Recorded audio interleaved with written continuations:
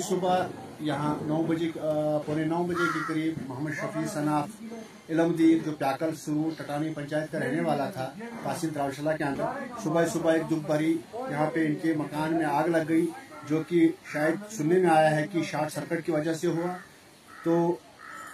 ये बहुत ही गरीब बंदा था, इसने बड़ी मेहनत से ये ये जो है अपना कारपेंटर का काम करता था, महसन का काम करता था, पूरी ज़िंदगी इसने अपनी जो है मेहनत की और पूरा पैसा जितना भी कमाया हुआ था इस मकान के अंदर लगाया था, जो कि आज सुबह सुबह ही हादसे का शिकार हो गया। ये बड़े अफसोस की बात है। तो हमारी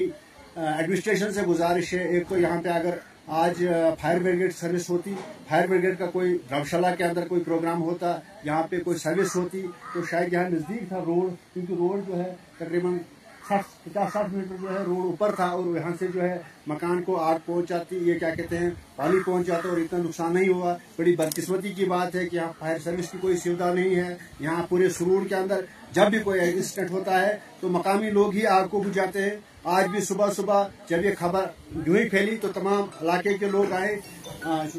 और तमाम इलाके के लोग आए और उन्होंने जो है यहाँ पे आग बुझाई का काम किया, हिम्मत से इन्होंने आग बुझाई और इस वक्त जो है एक, दो छत का नुकसान तो हो गया, लेकिन जो तीसरा फ़र्स्ट फ्लोर जो था, उसको बचा लिया है। फ़र्स्ट फ्लावर को जो है इन्होंने बचाया है, लेकिन बहुत ज़्यादा नुकसान हुआ इसके अंदर जो जितनी भी उम्र भर की जायदाद इन लोगों ने जमा की थी, वो पूरी की पूरी जलकर खाकसर हो गई पूरा नुकसान हो गया। तो हमारी गुजारिश है डीसी साहब से, तहसील एडमिनिस्ट्रेशन से, कि इसका जो है फ़ौरन मुआवजा दिया जाए, फ़ौरन यहाँ पे टीम को भेजा जाए, पटवारी को रेफर भेजा जाए, तहसीलदार साहब को भेजा जाए, ताकि इसके मकान के जो है, इसको फ़ौरन डीसी साहब से मेरी गुजारिश है, इनके पास बर्तन भी नहीं निकालने के लिए नहीं रहे हैं। इनका, इनके पास जो है खाने का, जो जितना सामान था, बर्तन थे, बिस्तर था, जो भी कुछ अंदर था, वो पूरा खत्म हो गया। तो मेरी डीसी साहब से गुजारिश है कि फ़ौरन अपनी जो है, इनकी रेड क्रॉस फंड्स में से या किसी और तरीके से इनको जो है फ़ौरन मदद की जाए और उसके बाद जो इनको मुआवजा दिया जाए। बहुत बड़ा मकान था,